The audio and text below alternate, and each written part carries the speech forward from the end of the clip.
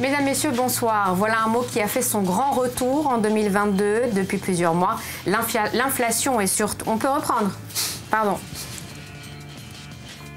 Ce sera la seule, la seule reprise, je vous promets. C'est un faux départ.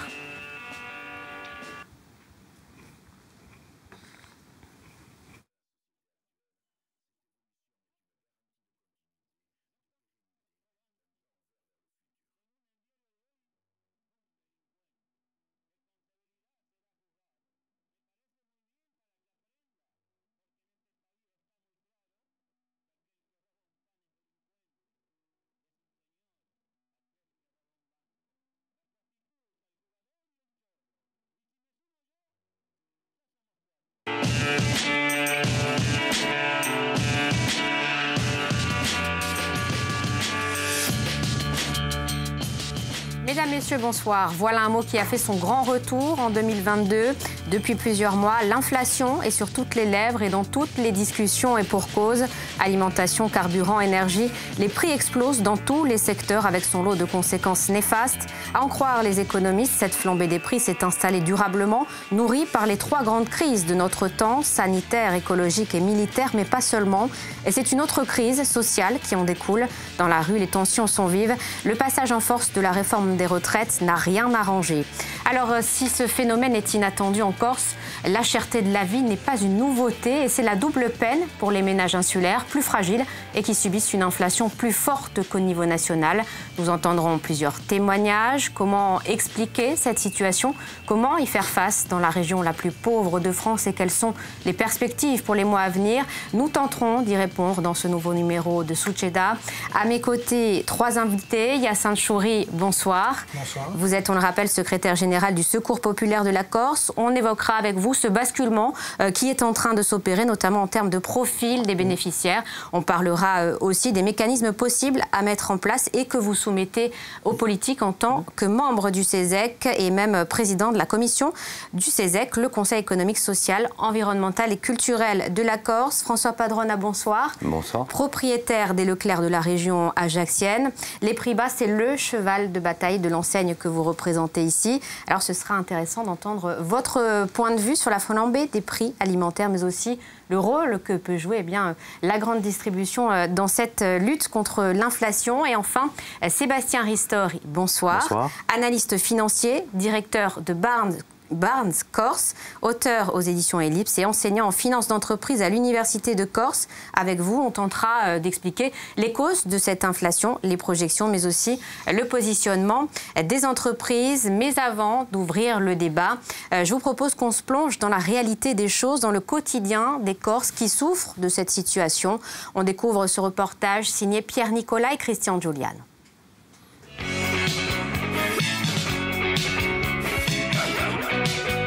Je serre les dents, mais à un moment donné, à force de serrer les dents, elle va éclater les dents. Quoi. Là, il y a tout qui remonte. Ça m'inquiète beaucoup. Ça me donne, comme on dit à Marseille, les glandes. Hein. Des fois, je me dis, il vaut mieux que je reste à la maison qu'aller travailler. Quoi. Ils se remplissent les poches.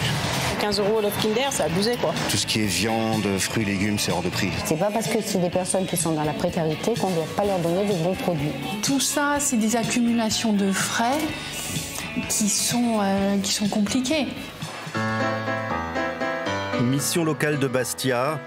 Anthony a 24 ans.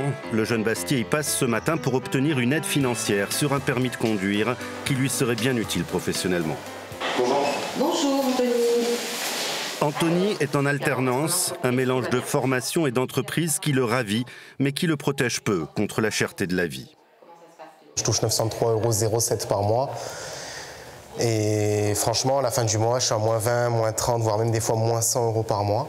D'accord, on peut avoir un CDI, mais s'il y a un salaire qui est, on va dire, à 1100, 1200 euros par mois, avec un appartement, des charges, une voiture, une assurance et tout, on se retrouve très vite euh, dans le rouge à la fin du mois.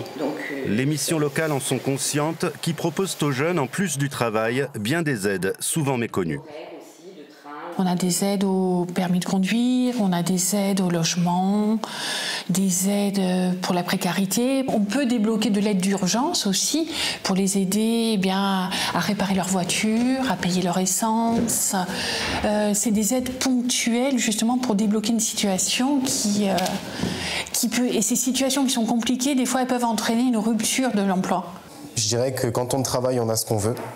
C'est que même si demain j'ai un objectif d'ouvrir une entreprise, il faut se donner les moyens pour réussir. Mais s'il y a des gens qui sont là pour nous aider, c'est même très bien pour les jeunes que être là tout seul et à dire vous êtes des fainéants, vous n'êtes pas des bosseurs. Il y en a certains oui, il y en a certains non. Mais la mission locale est là pour nous aider plus ou moins à trouver notre parcours professionnel et à se trouver nous-mêmes.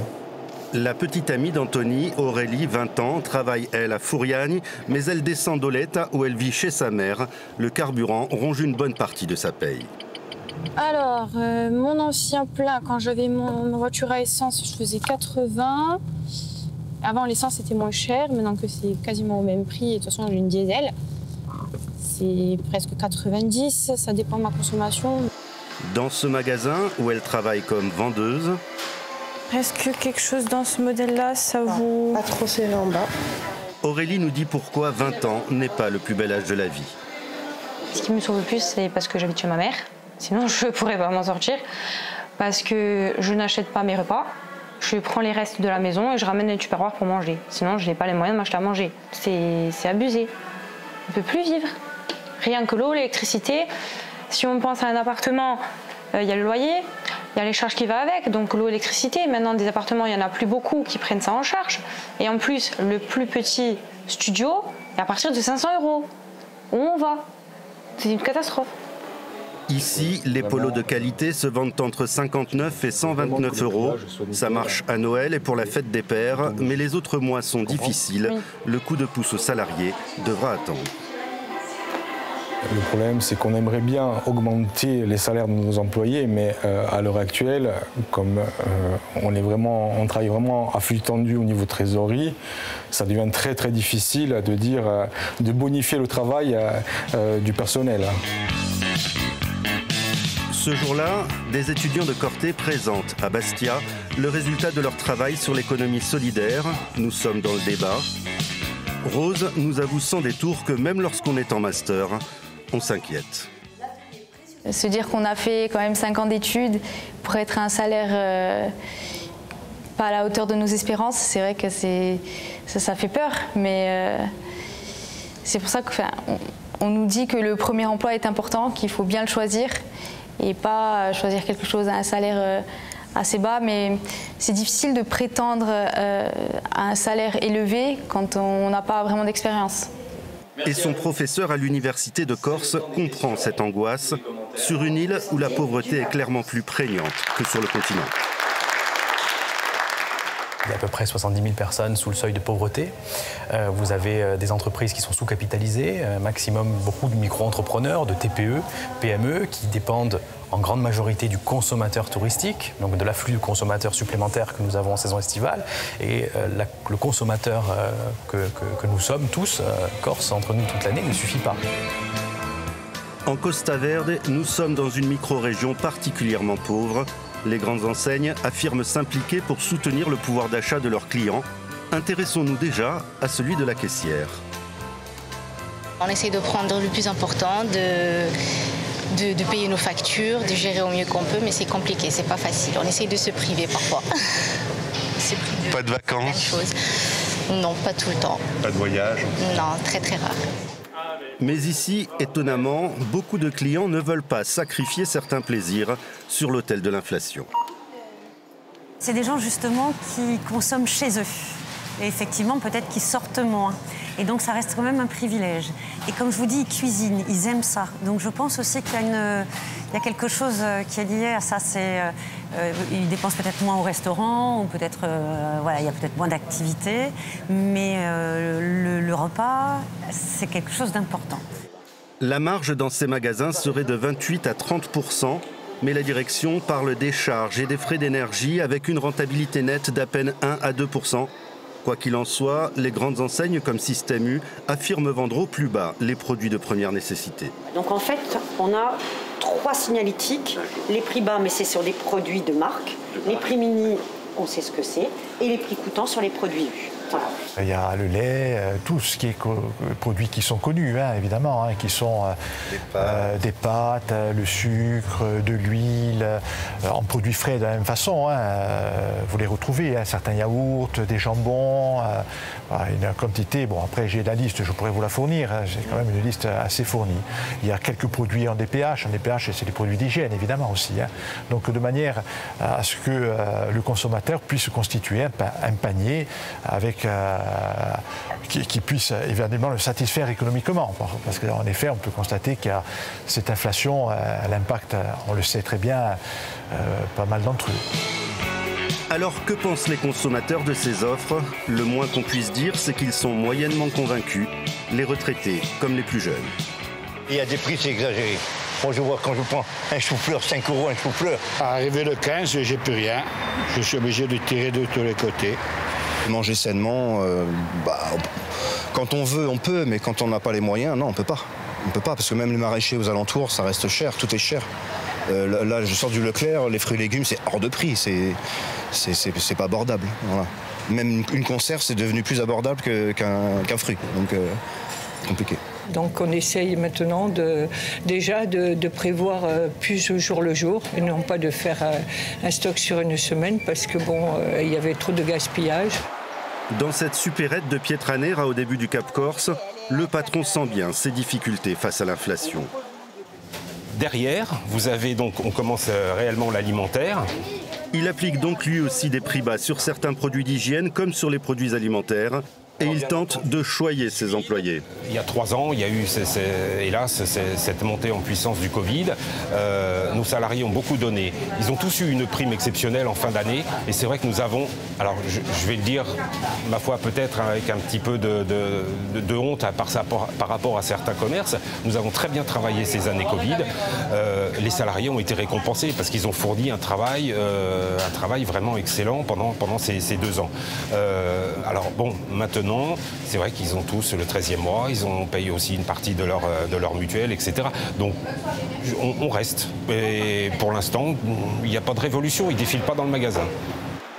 Et signe des temps, les produits proches de la date de péremption font l'objet d'une nouvelle offre. Deux jours avant que les produits soient périmés, nous, mettons les produits de côté, toujours en chambre froide bien entendu, c'est surtout des produits frais, et nous faisons euh, un système de panier. C'est-à-dire le panier doit atteindre à peu près une douzaine d'euros, et donc nous, mettons sur un, sur un site qui s'appelle Too Good To Go, et donc ces paniers, deux à trois par jour à peu près, partent en général tous les... À midi on n'en a plus, quoi, hein. ils sont partis tous ces paniers proposés par les enseignes de la grande distribution, qu'en pensent les associations comme Partage à Loupine, qui proposent, elles, leur propre panier à 4 ou 5 euros? Moi, je trouve que c'est bien, mais il faut voir d'abord ce qu'il y a dans les, paniers. J'en ai pas encore vu. Et là, ça ne va aider qu'une partie de, de la population, et tant mieux. On a vu euh, l'afflux de jeunes travailleurs des jeunes travailleurs qui, ne s'en sortent plus par rapport au loyer, par rapport euh, aux produits à acheter. Donc euh, on leur euh, prépare un, petit panier toutes les semaines, le lundi et le mercredi, quand on reçoit la marchandise, pour qu'ils puissent en sortir. Et là, on est, à peu près à une quarantaine de petits colis par semaine, ce qu'on ne faisait jamais avant. Qui sont donc ces actifs qui tirent maintenant le diable par la queue? Il suffit d'écouter une aide à domicile payée tout juste au SMIC, une population largement féminine pointée par l'INSEE comme particulièrement touchée par l'inflation. Au cinéma, il y a des années que je n'ai pas été au cinéma. je travaille donc avec les personnes âgées. Euh, j'ai à peu près 1300 euros de, paye. Et franchement, euh, question alimentaire, je ne calcule pas parce que sinon, je crois qu'on euh, se fout une balle dans la tête. Quoi c'est trop cher. C'est trop cher pour se nourrir, l'essence qui augmente tout, qui augmente tout le temps. L'essence. Dans cette station-service, les trois clients mettent 20 euros. Le plein, c'est fini. Et certains nous avouent même un sentiment de déclassement par rapport aux générations précédentes. C'est infernal. Je parle pour moi comme des gens qui sont dans les classes en dessous de moi, euh, qui finissent avec des découverts. Euh, abominable. Quoi. Et puis bon, après vous connaissez les banques et tout ça, euh, moins de découvert, oui bonjour, euh, vous êtes à moins 50, oui, mais je suis à moins 50 parce que j'ai pas le choix. Je me rappelle, j'ai jamais manqué de rien, et je voulais des baskets, je les avais. Aujourd'hui ma fille me dit, papa, j'ai besoin de deux paires de baskets, trois paires de baskets, c'est la chose la plus normale. Je veux dire, pour l'école, pour le dehors et tout ça, je ma fille, non, c'est pas possible.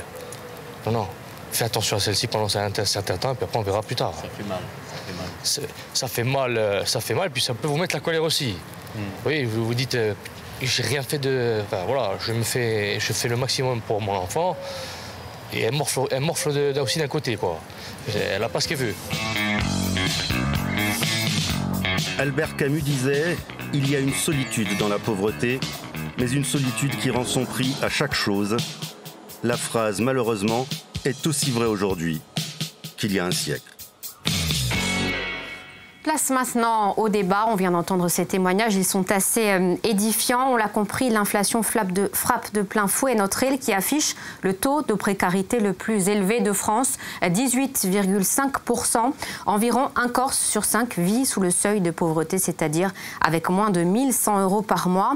Euh, ça, ça n'est pas un fait nouveau, mais ce qu'il y a de frappant, il y a Saint-Chouris que l'on observe un vrai basculement, un changement sociologique. On entendait cet homme dire eh bien qu'il ne pouvait plus acheter euh, euh, autant de paires de baskets qu'il le souhaitait euh, à sa fille. Il parlait même de déclassement. La pression est telle que les langues se délient. On observe un changement de comportement. Vous le ressentez, vous, au quotidien, au secours populaire? Est-ce que vous accueillez de plus en plus de personnes qui travaillent, qui ont un emploi, mais qui sont contraints de venir, de faire appel aux associations pour s'en sortir? Absolument. Il n'y a pas des aides pour tout. et les, les, gens qui sont en train de subir euh, les effets de l'inflation, euh, alors qu'ils étaient dans une situation qui était déjà précaire. Ils s'en sortaient, mais sur le fil du rasoir. Ces gens euh, sont obligés de faire des choix. Et bien évidemment, la nourriture, c'est la base de la vie. on ne peut pas se restreindre sur la nourriture. Alors malheureusement, souvent, on se rabat sur des mauvaises nourritures ça a des effets sanitaires désastreux, mais on, privilégie quand même de nourrir ses enfants. C'est la première des nécessités. Mm. Résultat, il y a beaucoup d'autres choses qu'on est obligé d'abandonner. Donc euh, on voit arriver des gens qui, il y a quelques années, pas si longtemps, avant le Covid, hein, mm. dans les années 2019-2020, euh, quand on les rencontrait, par exemple, dans nos boutiques solidaires, où on peut s'équiper à petit prix, euh, contre des contributions modiques. Euh, quand on les rencontrait là, on leur disait, mais dans votre situation, vous pouvez venir nous voir, on va vous aider plus durablement, on va vous faire une aide alimentaire, on va vous accompagner dans des démarches. Ils, nous, répondaient, il y a plus malheureux que moi, je ne veux pas prendre le pain dans la bouche des autres. Mm. Ça fait deux ans que je n'ai plus jamais entendu ce mm. genre de phrase. Plus jamais. Et qu'on voit arriver à, l'aide alimentaire, des gens qu'on connaissait comme étant des habitués de la boutique solidaire, mais qui ne venaient pas se faire aider. Et aujourd'hui, ils viennent se faire aider, ils n'ont pas le choix. S'ils veulent maintenir un semblant de vie décente, bah, il faut qu'ils trouvent des moyens complémentaires partout et heureusement qu'on a des moyens d'aider sur le plan alimentaire. Ce qu'ils obtiennent chez nous, ils n'ont pas à l'acheter. Donc, euh, bien évidemment, euh, ça permet de maintenir un budget très, très tendu, mais, mais qui nécessite de se faire aider. On ne peut plus se dire moi, je peux m'en sortir tout seul. C'est plus possible que quand vous, on est dans ces situations. Ce que vous m'expliquiez avant cette émission, c'est que du fait de ce basculement, vous avez même euh, chamboulé votre logistique. Vous tentez de vous adapter à ce changement de profil de bénéficiaire. On est bien obligé. C'est-à-dire qu'on a, euh, d'une part, on, est, on a des, nombres de plus en plus importants. Sur l'ensemble de la Corse, on aide plus de 4600 personnes. Donc c'est... Euh, euh, près de 2500 familles, hein, plus de 2500 familles. Donc c'est les recevoir dans nos, dans nos, permanences et dans nos euh, libres services solidaires, euh, pour les recevoir, il faut des plages d'ouverture importantes. or, euh, l'approvisionnement, ce que nous pouvons distribuer, parce qu'on est très loin même de prix qu'on a entendu tout à l'heure. Nous, on, c'est de la distribution qu'on fait. Hein. Mais même par rapport aux travailleurs, vous me disiez, hein. on va ouvrir plus tard pour que ces gens-là puissent venir après le travail. On a, déjà étendu euh, des plages d'ouverture et on envisage même d'ouvrir euh, même le samedi pour pouvoir permettre aux aux personnes qui travaillent de venir plus facilement. bien évidemment, ils s'arrangent quand même pour venir dans les plages d'ouverture, mais on a de plus en plus de monde. Euh, vous prenez. Euh, Depuis plusieurs mois, un point justement sur le. C'est la bousculade. Sur la hausse du nombre de bénéficiaires. Absolument. Vous, êtes à, vous avez doublé quasiment On a euh, doublé depuis 2019, oui. Doublé depuis 2019 sur l'ensemble de la Corse. Et à certains endroits, plus que doublé, bien sûr. Justement, puisque vous parlez. Chaque année, chaque année ça a été entre 40 et, et 23 selon les années, mais avec le cumul, ça fait un double. Et cette vulnérabilité est plus ou moins euh, importante selon euh, les micro-régions. Certaines euh, la subissent plus que d'autres. C'est le cas des intercommunalités rurales en rouge que vous voyez sur cette carte et modeste en rose. Les agglomérations de Bastia et d'Ajaccio en gris et les zones résidentielles en bleu sont les moins exposées.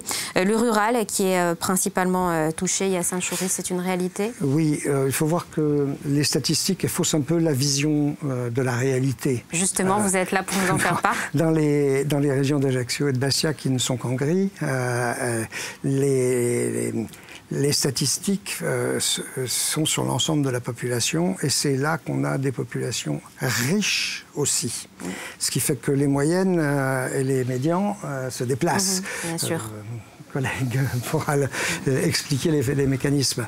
Mais par contre, les nombres sont très très importants. Alors le rural, c'est les plus petits nombres mais c'est euh, d'autant plus dramatique que dans le rural, historiquement, euh, il, reste, euh, il reste plus de, mécanismes de solidarité immédiat et de voisinage que, que dans l'anonymat des, des, zones urbaines.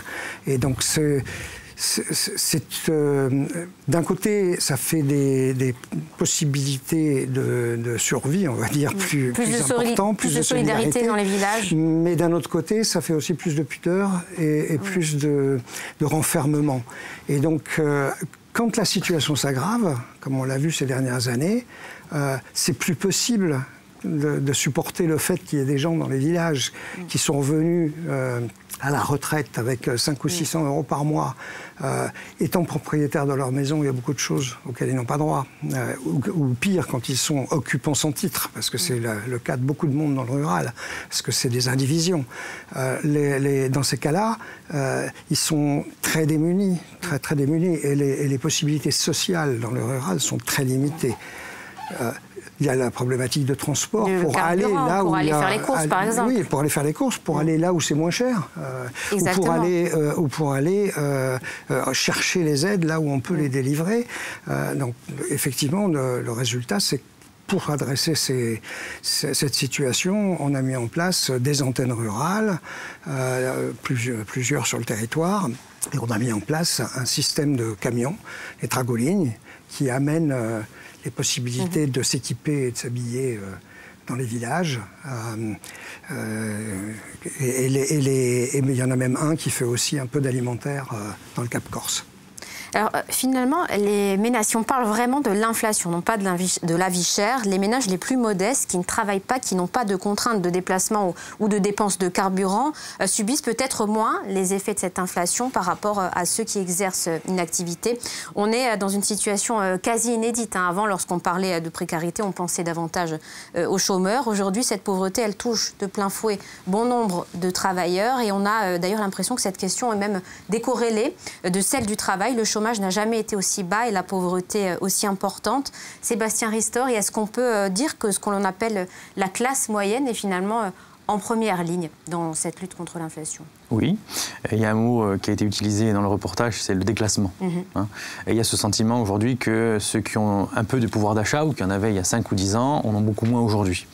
Ils en ont beaucoup moins. Alors il y a une multitude de paramètres là aussi, c'est dans nos, dans nos, consommations quotidiennes, dans les outils qui, euh, qui, sont les nôtres, dans le matériel que l'on utilise. Donc on a beaucoup plus de dépenses qu'on en avait il y a 10 ans ou qu'on en avait il y a 20 ans. Hein. Et je pourrais euh, épiloguer des heures sur euh, l'abonnement téléphonique, l'abonnement numérique, etc. etc. il y a aussi la vie chère. Quand on parle de la vie chère, c'est les produits de consommation courante, mais c'est sa voiture, le crédit de sa voiture, de sa maison, etc. Donc retracer ce qui aujourd'hui constitue l'inflation, c'est une aiguille dans une, immense euh, botte de foin.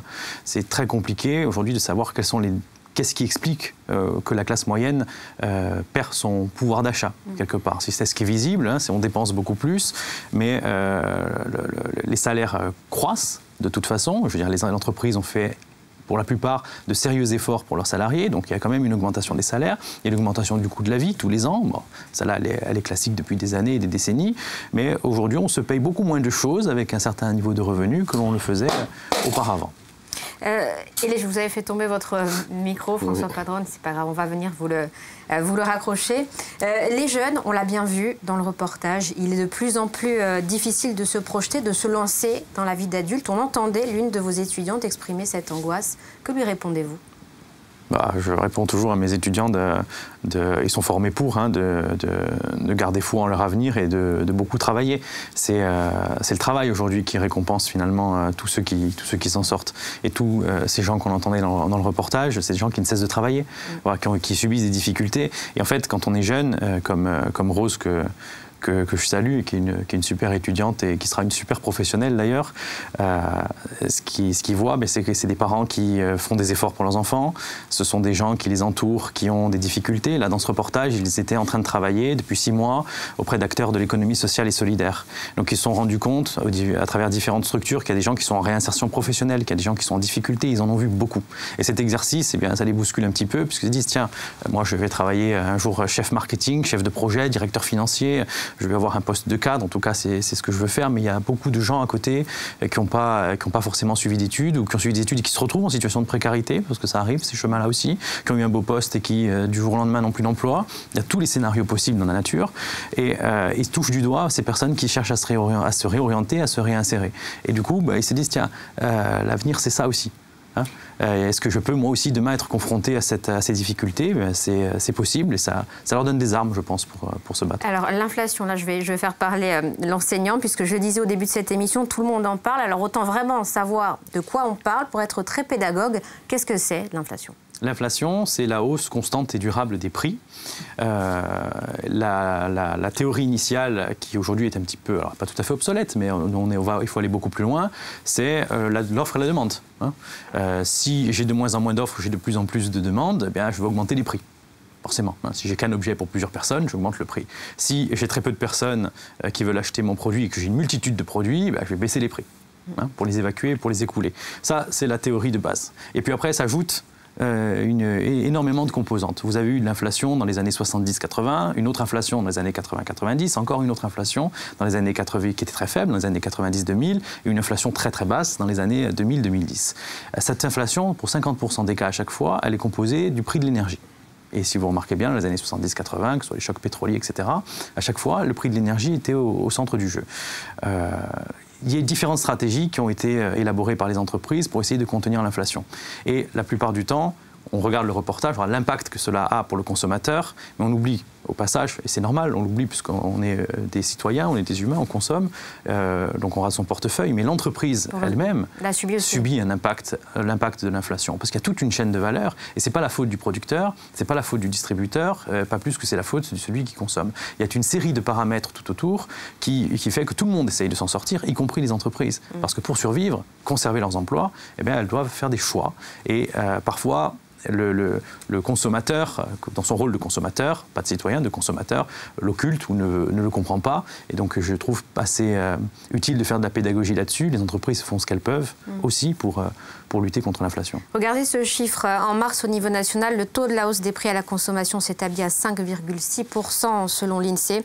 C'est un peu moins qu'en février, mais ça reste élevé. C'est même euh, du jamais vu depuis les années 80. Ces chiffres, on les explique comment, Sébastien Ristor? Le feu couvait déjà, et puis la guerre en Ukraine est venue euh, en quelque sorte comme un accélérateur Donc il y a, tout a ça, ça, couvait déjà depuis un petit moment. Euh, la crise sanitaire a accéléré les choses. Hein. Vous avez eu quand même un arrêt de la consommation pendant deux mois, deux mois et demi à peu près. Euh, vous avez donc des stocks qui se sont constitués. Vous avez ensuite eu, alors je n'ai plus tout à fait les chiffres en tête, mais si vous regardez les, les résultats records des sociétés en 2021-2022, mmh. c'est des résultats records qui sont faits parce qu'il y a eu un afflux de consommation. Hmm? Donc elles sont pas arrivées, les résultats ne sont pas tombés du ciel. Il y a eu un afflux de consommation pendant 2021-2022 qui ont épuisé euh, les stocks et la production. Donc on a continué à produire et on arrive à un, sentiment de saturation aujourd'hui euh, lié à la guerre en Ukraine, mais pas parce que c'est la guerre en Ukraine ou parce qu'il y a la guerre à nos portes, parce que principalement le sujet c'est encore une fois l'énergie. Et l'énergie qui en consomme Les entreprises en consomment. Hein, vous avez l'affaire William Sorin, il a préféré, ils ont préféré arrêter, fermer leur, leur usine de production plutôt que euh, continuer à fabriquer. C'est grave. Mm. Donc euh, l'énergie, c'est l'un des principaux avec la masse salariale, mais un des principaux coûts pour des producteurs en tout cas. Donc quand vous décidez que ça vous coûte moins cher, ça vous coûte de l'argent dans les deux cas, mais que ça vous coûte moins cher d'arrêter de fabriquer que de fabriquer, c'est qu'on est quand même dans un, on a quand même un sujet lié à l'énergie. Qu'est-ce qu'on peut espérer euh, pour la suite? La BCE et Bruno Le Maire disent que ça va se calmer cet été, même peut-être redescendre. On ne peut pas vraiment faire de prédictions. Alors en tant que les économistes font des prédictions et un financier un peu plus rationnel, et euh, on ne fait pas de prédictions. Aucun économiste sérieux ne peut aujourd'hui vous dire si ça monte ou si ça baisse. Ça c'est de la spéculation. Euh, il y a les deux théories hein, qui, qui s'opposent. Il y a ceux qui disent bah, ça va continuer d'augmenter parce qu'il y a la transition écologique, ça va coûter beaucoup d'argent, qu'il va falloir qu'on s'y mette, qu'il y a un vieillissement de la population euh, et qu'il y aura donc moins d'actifs et moins de personnes qui vont consommer comme un actif, je dirais. Et il y a ceux qui sont plutôt les tenants de dire, bah, de toute façon, ça va un petit peu comme euh, notre ministre de l'économie qui dit, la BCE n'a pas l'intention, la Banque centrale européenne n'a pas l'intention que ça continue ainsi. Donc, on va de toute façon, tôt ou tard, euh, limiter la casse, baisser les taux, etc.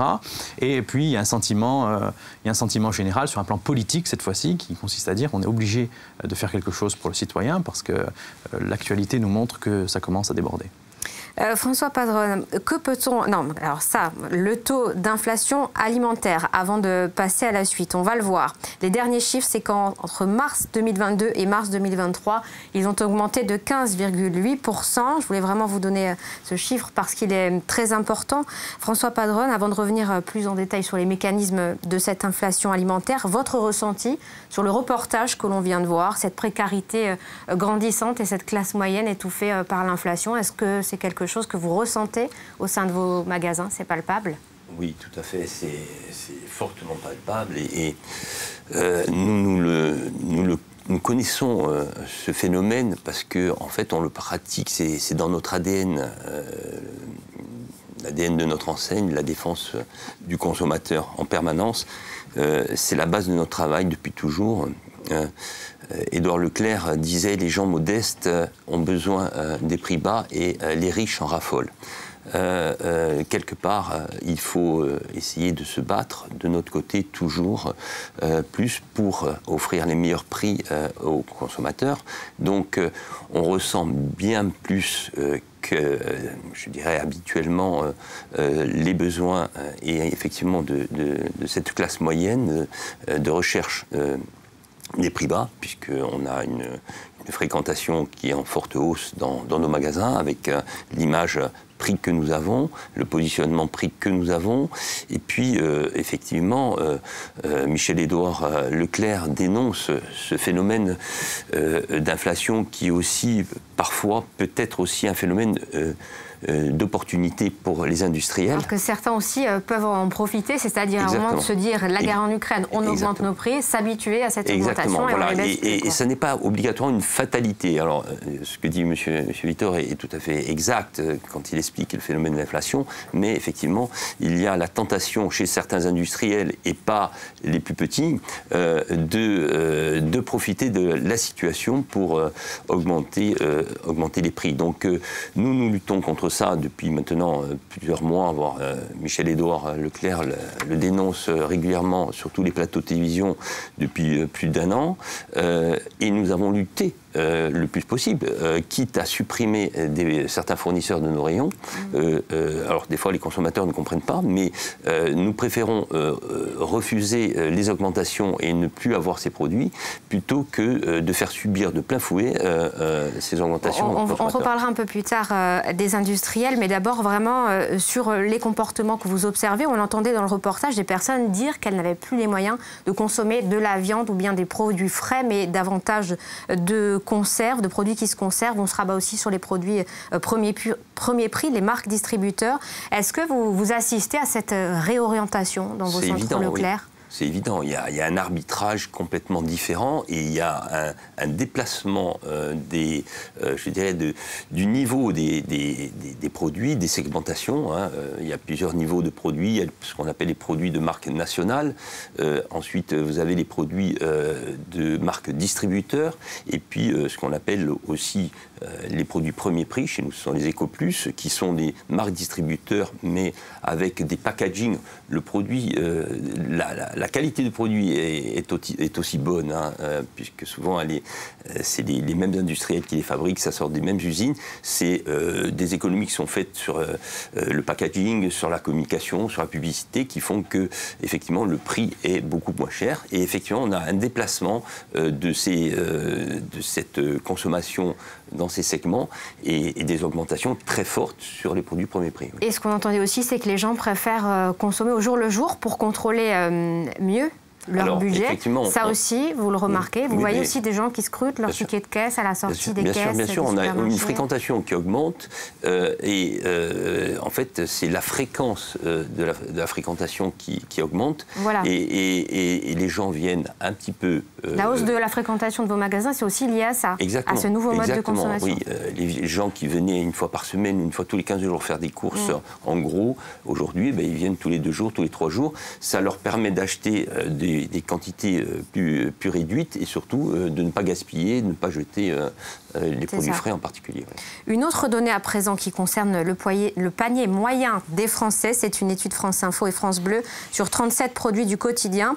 On s'aperçoit qu'il y a des disparités selon les départements. Ce panier s'établit actuellement à 106,25 euros, 109 euros pour la Corse. Alors, on n'est pas les moins bien lotis, mais on est tout de même au-dessus de la moyenne. Et cela pour plusieurs raisons. D'abord parce que cette inflation est assise sur des prix euh, structurellement hauts, euh, parce que les consommateurs corses consacrent 15% de leurs dépenses à l'alimentaire contre 14,3% pour la moyenne nationale, et puis parce que la Corse est soumise à des contraintes comme le transport par exemple, le fret, et ça, ça change la donne, il faut bien le dire. Avec l'entrée en vigueur de la nouvelle délégation de services publics maritimes validée par l'Assemblée de Corse, le tarif du fret a fait un bond de 14,3% au 1er janvier.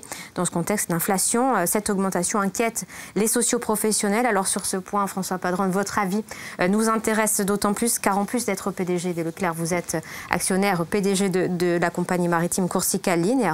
Euh, vous n'avez pas participé à, ces négociations, mais euh, comment avez-vous accueilli cette décision de l'Assemblée de Corse? Écoutez, c'était difficile pour l'Assemblée de Corse de faire autrement et, les négociations se, sont passées normalement entre une compagnie qui offre un service et, et euh, effectivement euh, l'Assemblée de Corse qui, qui euh, subventionne, comme vous le savez, pour atténuer le, coût du transport maritime, essayer de le ramener au coût du transport routier, ce qui n'est pas évident.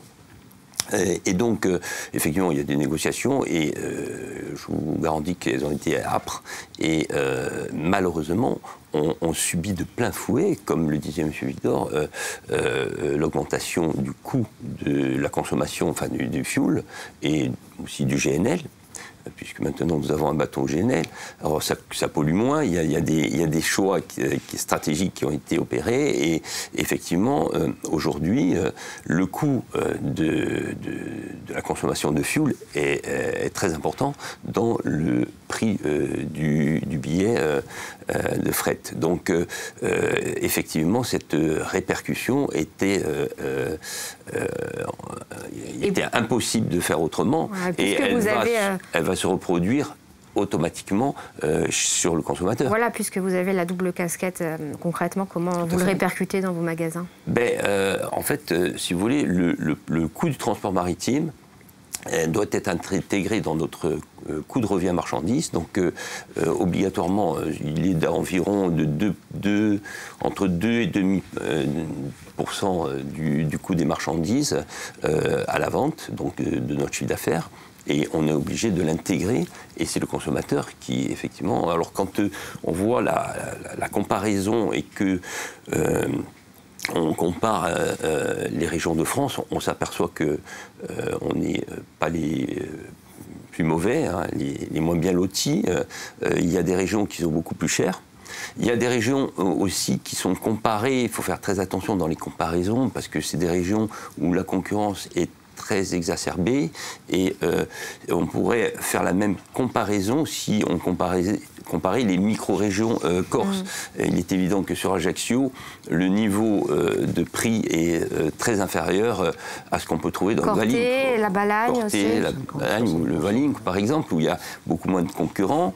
Et sans plaider pour ma paroisse, mais euh, moi je me suis battu pendant euh, 20 ans justement euh, contre ce phénomène euh, en Corse, c'était la région la plus chère euh, de France, voire même d'Europe dans les années 80-90. Et euh, en 2015, euh, effectivement, euh, j'ai réussi à, convaincre et à faire venir l'enseigne Leclerc, qui était la seule capable, je dirais, d'imposer une véritable concurrence, euh, euh, parce qu'il y avait un duopole jusqu'à euh, jusque dans les années 2009, il y avait un duopole entre, deux grandes euh, enseignes connues. Et l'arrivée de Leclerc a, euh, fortement fait baisser les prix. Les prix ont baissé de 15% euh, à partir de 2009 sur tout le tissu euh, de la grande distribution. Ça a été euh, 150 millions d'euros environ euh, de rendu de pouvoir d'achat aux consommateurs corses de façon pérenne. Et aujourd'hui, euh, encore euh, au, moment où on parle, euh, les magasins d'Ajaccio euh, que je représente sont un indice euh, qui est de 5 à 6 points inférieur à la moyenne nationale. Donc on est beaucoup, beaucoup moins cher que sur le continent. Donc euh, il faut remettre les choses à leur place, mais toutes les, les régions de Corse ne peuvent pas être euh, effectivement euh, le- je dirais, au même niveau. On, on va, on va aborder les mesures pour lutter, mais avant cela, juste un petit retour sur la, la hausse du prix du fret. Peut-être les autres enseignes, les autres professionnels, c'est leurs inquiétudes, vous les comprenez Les autres enseignes qui ne sont pas actionnaires de Corsica Ligne et qui sont loin de ces négociations. Euh, Ah, mais il n'y a, y a- y y aucune, aucun rapport entre les actionnaires de Corsica Line et, et- et- et les autres entreprises. Le, le prix du fret est fixé par euh, euh, la, le- la C- CDC. Euh, c'est pas nous, c'est pas Corsica Line qui fixe Qui le décide, prix. euh, qui a la décision finale. Euh, c'est la CDC qui fixe le prix du semi-remorque. Et euh, ce prix euh, est le même, est Mais c'est eux qui facturent. Pardon? C'est eux qui facturent. Non, c'est nous qui facturons, c'est Corsica Line Mm. qui facturons, qui facturons. Mais euh, euh, ce, euh, ce prix est le même pour tout le monde. Que vous passiez un semi-remorque ou que vous pensiez 10 000, il n'y a aucune différence. Mm. D'accord? Donc tous euh, les commerçants, tout ce qu'on appelle les chargeurs et les transporteurs, ont tous le même prix, les mêmes conditions pour transporter la marchandise de Marseille à, à- jusqu'en Corse. Donc euh, effectivement, tous les acteurs économiques qui, à un moment donné, ont besoin de euh, cet outil de transport euh, vont être obligés de répercuter cette euh, augmentation de 14% euh, dans leurs euh, dans leurs tarifs. Alors, euh, vous parliez euh, des prix bas. Effectivement, on l'a vérifié. hein, différents indices qu'on a démontrent euh, que sur une sélection de produits, le panier moyen en Corse est bien moins cher dans les centres Leclerc. C'est pour cette raison que, dans un premier temps, vous étiez réticent à l'idée de mettre en place un panier anti-inflation. Vous allez me dire que ce n'en est pas un. Mais finalement, ce lundi, Michel-Édouard Leclerc a annoncé bloquer les prix de 1000 produits. Les produits concernés sont ceux de la marque EcoPlus, la marque d'entrée de gamme de l'enseigne. Pourquoi ce changement de cap? Et expliquez-nous cette nouvelle Alors, stratégie. si, si on comprend bien, c'est pas c'est pas tout à fait un changement de cap. En fait notre discours. Enfin, euh, euh, nos concurrents sont, sont arrivés à la demande de, de Bruno Le Maire avec 200 produits euh, à prix bloqué ou des produits qu'ils avaient augmentés il y a 15 jours et ils les ont fait redescendre. Donc c'est des, des jeux un petit peu, je dirais, de posture, pour pas dire de dupe. Et nous nous disons simplement, c'est dans un hypermarché il y a 80 000 produits. D'accord Et on ne peut pas euh, vivre avec euh, 200 produits, euh, toujours les mêmes, je dirais, en plus d'une qualité peut-être inférieure. Donc euh, nous, nous disons, euh, pratiquons des prix bas toute l'année euh, sur euh, la totalité des produits. Et effectivement, nous avons décidé, parce que nous en maîtrisons la production, de bloquer euh, euh, 1000 produits euh, premier prix qui sont les EcoPlus, qui sont des produits euh, avec le Nutri-Score. Hein, J'allais dire, c'est pas des, pas des sous-produits.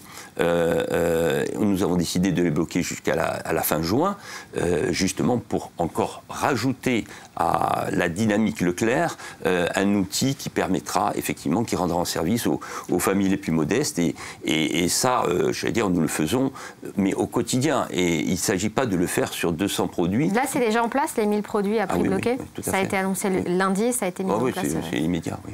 Yacine Choury, vous, qu'en pensez-vous de ce, de ce trimestre euh, anti-inflation? Il y a aussi un questionnement, euh, François Padron le disait, sur la qualité euh, des produits choisis, mais aussi sur son impact psychologique, peut-être. Est-ce que les dispositifs qui flèchent sur les plus modestes et qui peuvent avoir tendance à les stigmatiser, ça, ça peut être mal vécu, en quelque sorte, d'imposer aux gens ce qu'ils ce qu'ils peuvent et, et ne peuvent pas manger?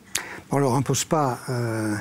Toutes les mesures sont bonnes à prendre quand on est dans la difficulté. Et s'il y a certains produits euh, de, même, de bonne qualité qui peuvent être moins chers, on en profite, tout le monde en profite.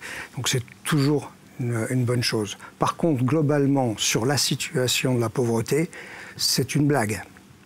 C'est une blague, c'est une mesurette, c'est quelque chose qui, qui soigne la plaie, mais qui Les n'empêche pas associations l'infection. de consommateurs parlent d'un coup de com'. voilà. Euh, non, pas seulement de com, parce que quand, quand vous avez dans votre poche euh, quelques euros pour manger dans la journée, euh, euh, vous êtes bien content si vous pouvez trouver des produits moins chers. Euh, et j'espère de bonne qualité, et notamment des produits frais et des, produits frais et des fruits et légumes.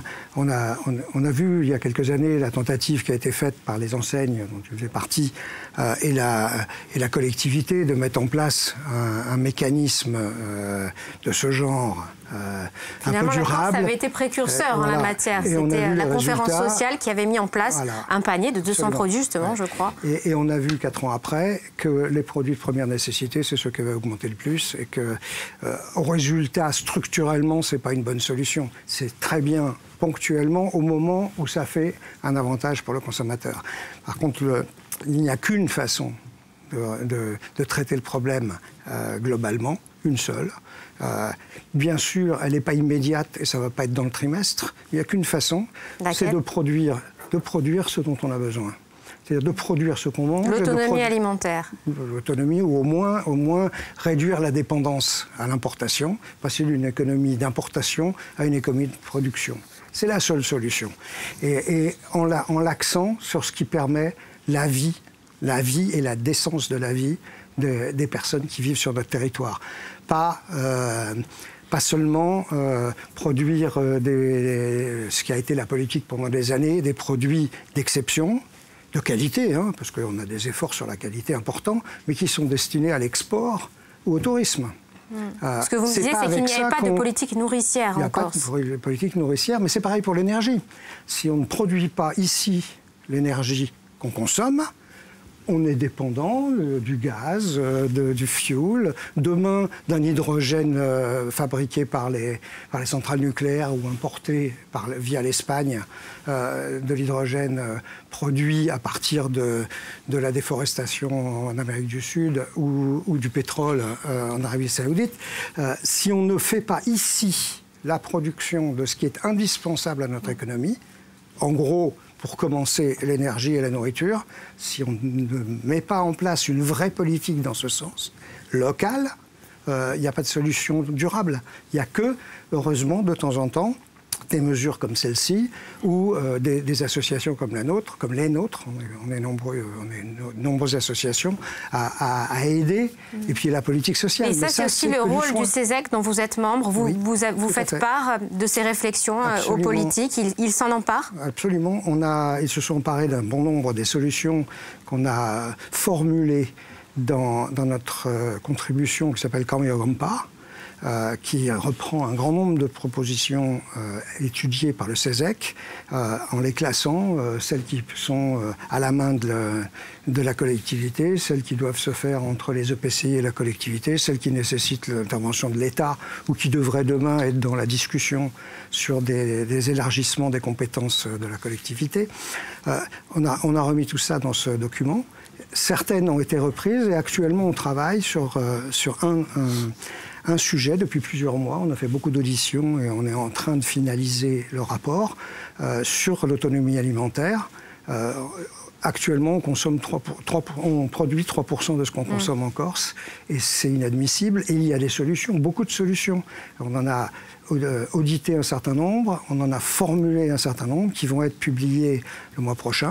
Euh, et donc ils sont en cours de finalisation du rapport actuellement.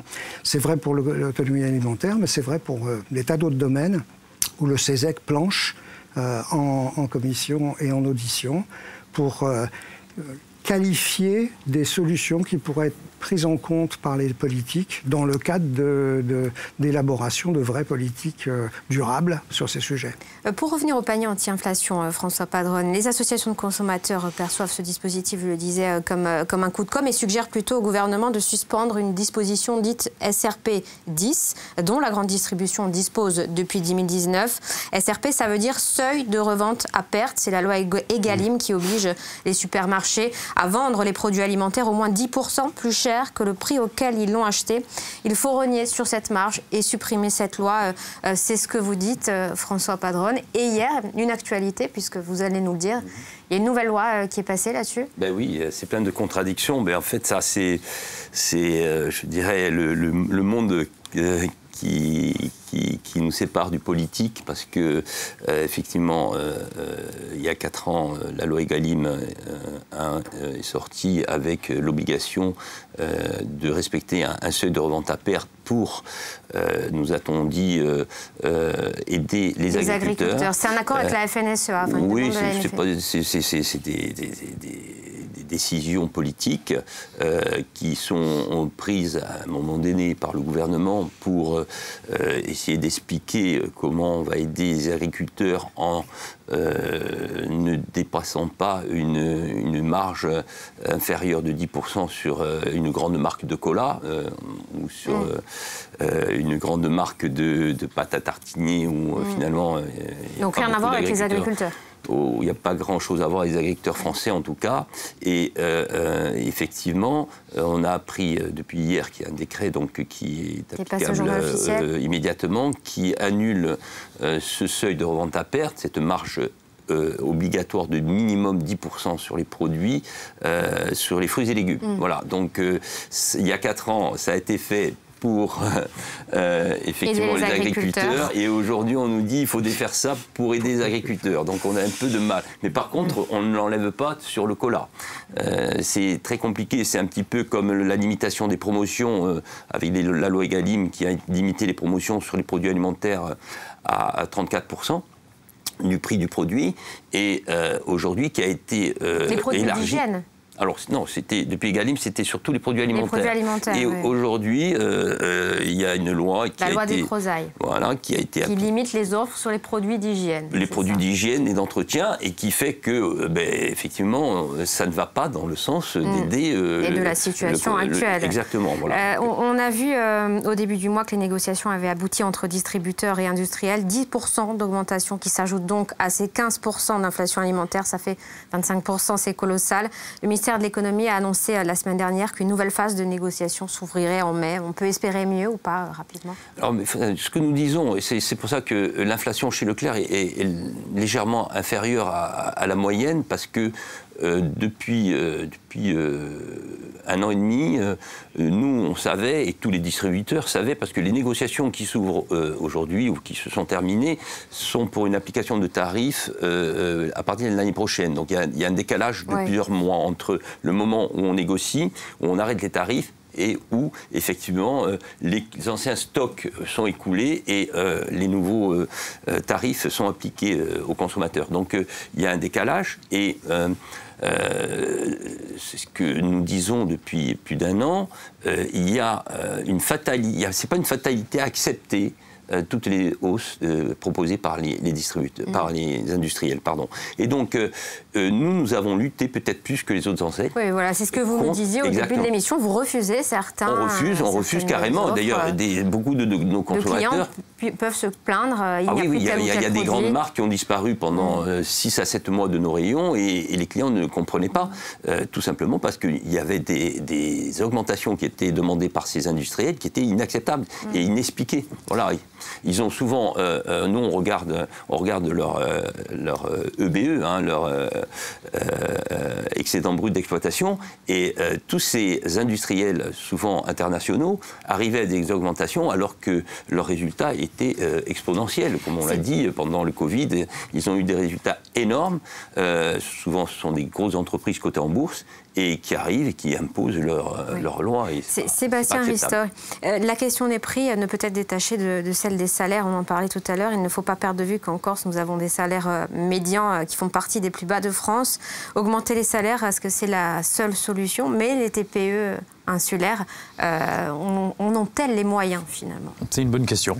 elles n'en ont pas les moyens aujourd'hui parce que nous sommes sur un, tissu économique de TPE, micro-entreprises, bon, que, je mets à part de, cette analyse, mais de TPE, de PME. Et quand on a de belles PME, euh, à la star de Leclerc, hein, ben, on peut euh, faire des efforts, mais c'est pas c'est pas c'est pas donné à tout le monde et je veux dire c'est pas non plus sans sans je dirais euh, sans conséquences sur, euh, sur un EBE et, sur un résultat d'exploitation après. Une société, il y, a, un fait qu'on ne peut pas éliminer, que je vois bien que plusieurs personnes aimeraient éliminer, mais on ne peut pas, c'est qu'une société, pour créer de la valeur, euh, elle doit avoir des clients.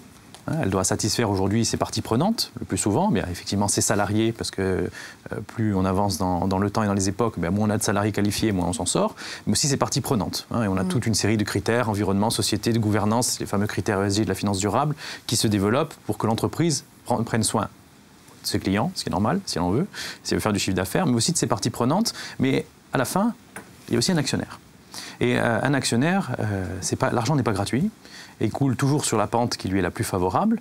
Et euh, quelqu'un qui apporte des moyens de financement à une entreprise, qui est un actionnaire, qui encourt le risque, en retour, il a des, un taux de rentabilité exigé.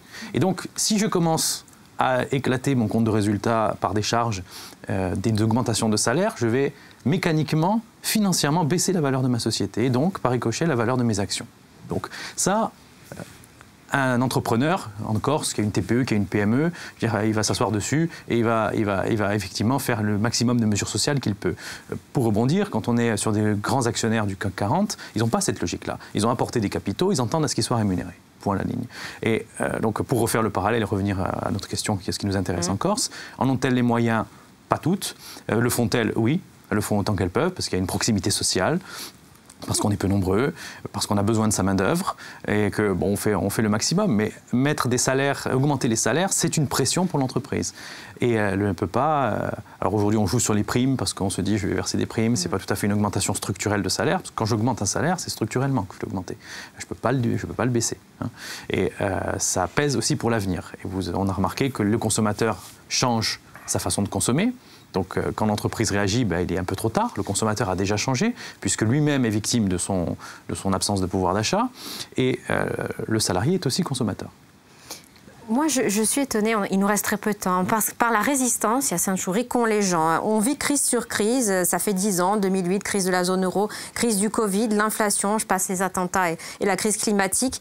Donc les gens sont sous pression. On l'a vu sur le continent hein, avec euh, ces manifestations violentes. En Corse, région la plus pauvre de France, comment euh, ramener euh, la sérénité au sein des foyers? Qui doit prendre sa part? C'est le rôle des politiques, de la grande distribution, des patrons? C'est un peu tout le monde. on a une chance en Corse, on a une faculté de résilience très importante. Euh, ça fait des décennies, on pourrait presque dire des siècles, que, la Corse est maintenue euh, sous le seuil de développement. Euh, ça fait des décennies que les Corses sont obligés de s'expatrier pour, avoir des carrières, même modestes dans beaucoup de cas, et, de revenir vivre sur leur terre. Euh, il n'empêche que aujourd'hui, on attire des, nouvelles populations. Euh, on, a, on, a, attiré des populations par certains secteurs d'emploi euh, dans les décennies précédentes. On attire aujourd'hui des populations continentales. On parle plus de, on parle plus de maghrébins qui venaient dans le bâtiment ou dans la vigne. On parle maintenant de continentaux qui mmh. viennent dans les services. Et on attire des nouvelles populations. Ça veut dire qu'on a des, on a des, des ressources ici, on a des possibilités en Corse. Ces possibilités, elles ne sont pas mises aujourd'hui au service du développement de l'économie corse au bénéfice de sa population. Mm. Pas suffisamment par le, manque de, vision politique. Euh, il y a des très bonnes intentions dans, dans tous les partis. Il n'y a pas toujours la vision politique qui permet de traduire ces intentions en une série de politiques calculées pour avoir leurs effets. Et ça, c'est ce qui nous manque. Sur le plan de, une Corse moins pauvre, hein. c'est ce qu'on voudra, une Corse moins pauvre. Une Corse moins pauvre, bah, ça sera l'objet du colloque qu'organise la Clé au mois d'octobre, le 16 octobre à, Ajaccio, euh, sur les causes, mais aussi les possibilités de s'en mhm. sortir. Et euh, pour finir, une dernière question. C'est en Corse qu'il y a les inégalités les plus fortes, mais aussi euh, euh, c'est une région où, il y a une forte disparité des salaires. Est-ce que ça peut créer des divisions, de l'animosité peut-être entre les gens de classe aisée, les gens qui ont du mal à joindre les deux bouts? François Padron, est-ce qu'on pourrait le ressentir ça dans la rue, dans vos magasins? Écoutez, moi, ce que je voudrais rajouter à ce que dit M. Choury, c'est qu'effectivement, il y a une question que peu de gens se posent pourquoi la Corse était la région la plus pauvre de France. Parce que si on commençait par se poser la question avec tous Elle les... Elle n'est pas la plus pauvre, mais c'est là où il y a le plus d'inégalités. Oui, mais en attendant, euh, c'est une question moi, qui revient depuis 40 ans et personne n'arrive à poser euh, les bases de, je dirais, de propositions pour euh, inverser cette tendance. Donc déjà, alors que la Corse est très riche, excessivement riche. Euh, mais euh, cette richesse est très mal, mal exploitée. et désorganisée. On peut parler de l'agriculture, on peut parler d'autres secteurs. et, bon, après, ça, c'est le rôle des politiques. Mais en attendant qu'effectivement, on ressent des disparités. on parlait des salaires, nous chez Leclerc, bien sûr, il y a la convention collective qui nous impose de, de, de régler les salaires sur. Euh, les gens sont payés sur 13 mois, mais nous distribuons, nous avons une règle euh, qui est la nôtre depuis toujours, qui est de distribuer 25% euh, du résultat courant, ce qui peut occasionner un résultat comme 3 à 4 mois de salaire supplémentaire pour, pour nos salariés. Donc, ça, c'est une, une, politique sociale qui est très particulière, hein, puisqu'on la retrouve part. Ça n'est pas le cas partout. Ça n'est pas le cas mm. partout, mais on, se rend compte que ça fidélise les salariés, que ça les, leur donne beaucoup plus de compétences. Et puis, euh, euh, c'est le partage de la richesse mm. euh, quand c'est gagnant-gagnant pour, pour Il nous reste très peu de temps, il faut conclure. François Padron, un dernier mot? Ben, un dernier mot, disons qu'effectivement, on traverse une période particulière. Il faut espérer que la, la, roue tourne, commence à tourner dans l'autre sens, parce que les industriels, justement, avec l'offre et la demande, en, diminuant les volumes de leurs ventes parce qu'ils euh, sont peut-être allés trop loin sur euh, les augmentations de prix, vont devoir refaire marche arrière et on va peut-être euh, voir apparaître une déflation dans les mois qui viennent. Ce n'est pas un mot, c'était une phrase, François. Ah Merci beaucoup, messieurs. C'est la fin de cette émission. Merci pour votre expertise, votre expertise et j'espère que ces échanges auront éclairé nos téléspectateurs. Je vous souhaite à tous une très belle fin de soirée sur France 3 Corse via